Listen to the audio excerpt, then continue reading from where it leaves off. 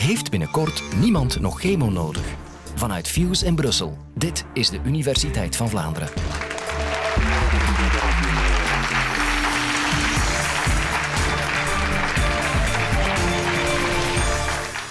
Op dit moment is er in jouw lichaam waarschijnlijk een oorlog bezig tussen jouw immuunsysteem en een cel die een kankercel wil worden. En jouw immuunsysteem is die cel nu aan het vernietigen. De ontdekking dat ons eigen immuunsysteem kankercellen kan vernietigen, is al meer dan 100 jaar oud. Maar deze ontdekking heeft tijd nodig gehad om zich te verspreiden.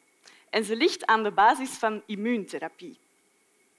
Sinds de jaren 80 is er een boost in het onderzoek naar immuuntherapie, nadat er harde bewijzen werden geleverd dat ons immuunsysteem effectief zelf kankercellen kan vernietigen.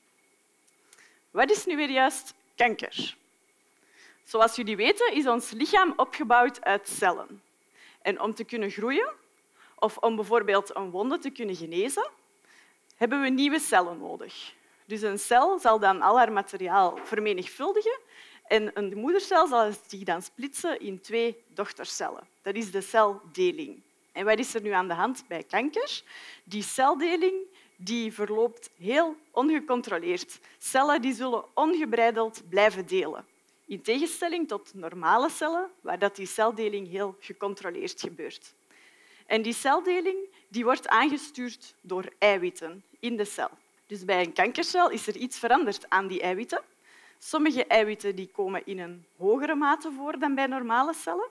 En andere eiwitten zijn veranderd. En samen noemen we dat de kankereiwitten. En deeltjes van die kankereiwitten die worden getoond aan de buitenkant van de kankercel. En dat is eigenlijk als een soort badge. Dus die kankercel die draagt een badge die kan herkend worden door het immuunsysteem. Je weet wel zoiets dat je krijgt op een workshop waar je naam op staat. Dus die kankercel die heeft een badge. Hoe gaat dat nu juist in zijn werk dat ons immuunsysteem die kankercel dan ook kan vernietigen? Ons immuunsysteem dat zijn witte bloedcellen en hun producten. En we hebben zo verschillende types witte bloedcellen en samen vormen die een leger.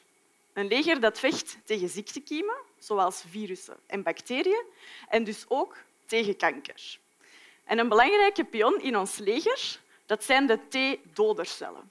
Dat zijn soldaten in ons leger die dragen een geweer. En die kunnen dus kankercellen herkennen en vernietigen.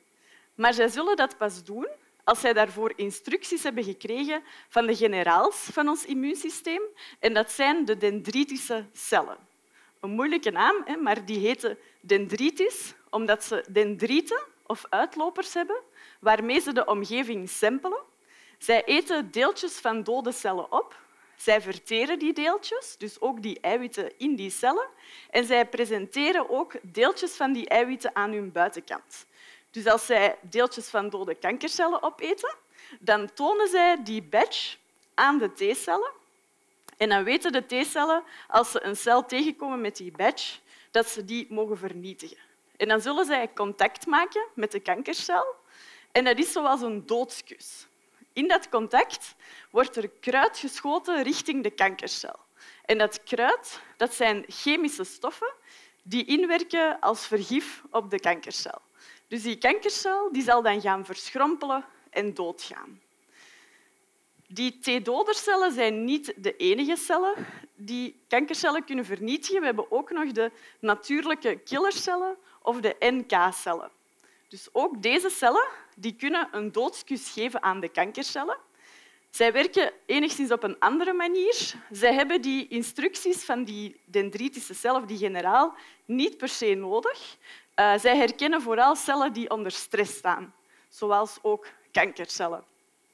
En die dendritische cellen en die NK-cellen die vormen onze eerste lijnsverdediging van ons leger. En als een aanval nodig is, dan zullen zij de hulp van de T-cellen inroepen om die aanval te versterken. Dus de belangrijke spelers, de generaals, de T-dodercellen en de natuurlijke killercellen. Dus concreet betekent dat dat wij een natuurlijk verdedigingsmechanisme hebben tegen kanker. Jullie zullen denken, waarom zijn er dan toch mensen die kanker krijgen? Bij die mensen kan het zijn dat hun leger niet sterk genoeg is om die kankercellen te herkennen en te vernietigen. En langs de andere kant, dit hoeft niet per se zo te zijn, maar we weten wel zeker dat mensen die kanker hebben, dat die kankercellen mechanismes hebben om te ontsnappen aan die aanval van het immuunsysteem. En ik ga met jullie drie mogelijke ontsnappingsmechanismes bespreken. Wat er kan gebeuren, ergens logisch, is dat die kankercel die kan haar badge afnemen, zodat die T-cel die kankercel niet meer kan herkennen. Die natuurlijke killercel die vindt dat alarmerend, maar op die manier heb je natuurlijk wel het leger fel uitgedund dat kan aanvallen. Een tweede manier waarop kankercellen kunnen ontsnappen is door een schild rond zich te laten bouwen. En dat is een schild van bindweefsel. Dus als die kankercel zo'n schild van bindweefsel heeft, dan zullen die, die soldaten niet meer ter plaatse kunnen geraken om die doodskus te geven. En dan kunnen die kankercellen dus ontsnappen. En dan is er ook nog een derde manier. En dat zijn de immuuncheckpoints, of dat zijn remmen van het immuunsysteem. Uh, dus die soldaten die hebben een ingebouwde rem. En dat, dat noemen we de immuuncheckpoints. En dat is met de bedoeling dat een immuunaanval ook tot rust kan gebracht worden als die aanval niet meer nodig is. Maar kankercellen die gaan die remmen misbruiken om de soldaten te verlammen en zo een aanval af te wenden. Dus drie mogelijke mechanismen is dat ze hun badge afnemen, dat ze een schild gebruiken van bindweefsel of dat ze de soldaten gaan verlammen. Wat gaan wij dan doen met immuuntherapie? Wij gaan het immuunsysteem de nodige wapens geven om die strijd met die kankercel terug te kunnen winnen. Langs de ene kant kan je je immuunsysteem versterken om beter die kankercellen te herkennen en te vernietigen. En langs de andere kant kan je inwerken op die ontsnappingsmechanismes van die kankercellen. En er zijn twee manieren om aan immuuntherapie te doen. Ofwel dien je cellen toe aan patiënten, dat is celtherapie, ofwel gebruik je medicijnen als immuuntherapie. En die cellen en die medicijnen die worden toegediend ofwel met een infuus ofwel met een spuitje. Eerst iets meer over de celtherapie.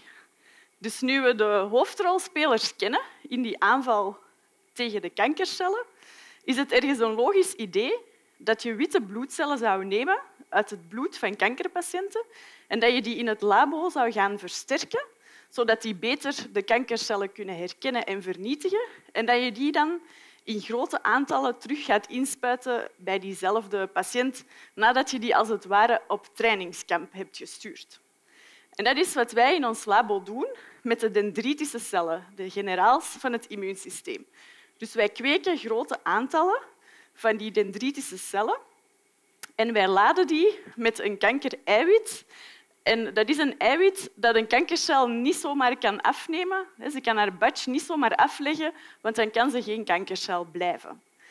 En die dendritische cellen die gaan wij dus in supervorm brengen en terug inspuiten bij de patiënt, zodat die de soldaten actief zal maken in de patiënt zelf om die kankercellen te vernietigen. En met succes, want wij hebben zo echt al levens van patiënten kunnen verlengen en zelfs ook patiënten kunnen genezen met deze celtherapie. Je kan ook de soldaten gebruiken als celtherapie. Dat is dan een andere vorm van celtherapie.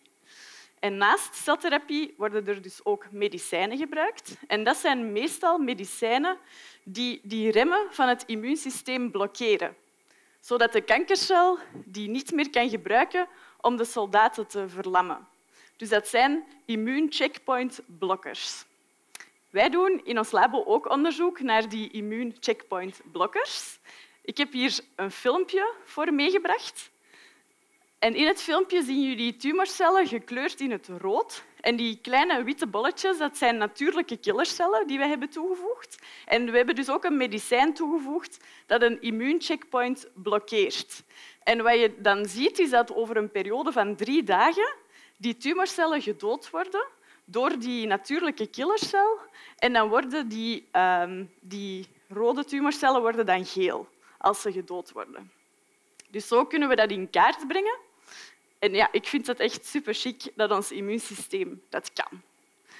Dus je hebt de celtherapie en de medicijnen. Dit is natuurlijk een belangrijke vraag. Kunnen alle kankerpatiënten geholpen worden met immuuntherapie? Wat zijn de resultaten? Vandaag de dag kunnen zeker nog niet alle kankerpatiënten geholpen worden met immuuntherapie. Maar immuuntherapie wordt wel beschouwd als een enorme doorbraak in de kankerbehandelingen. En dat komt omdat met immuuntherapie betere resultaten bekomen worden voor sommige patiënten dan met de klassieke behandelingen. En met klassieke behandelingen bedoelen we chirurgie, waarbij je het gezwel wegsnijdt, chemotherapie, dat inwerkt op alle delende cellen, en radiotherapie, waarmee je met bestraling kankercellen vernietigt. En dus bij patiënten met vergevorderde ziekte, zoals vergevorderde longkanker en huidkanker, kan je dus soms met immuuntherapie betere resultaten bekomen dan met klassieke behandelingen en ook zelfs met minder nevenwerkingen. Jullie hebben waarschijnlijk al gehoord van nevenwerkingen van chemotherapie, zoals haaruitval, misselijkheid of braken. En immuuntherapie heeft eigenlijk een ander soort nevenwerkingen die te maken hebben met een overactief immuunsysteem dat ook normale cellen kan aanvallen.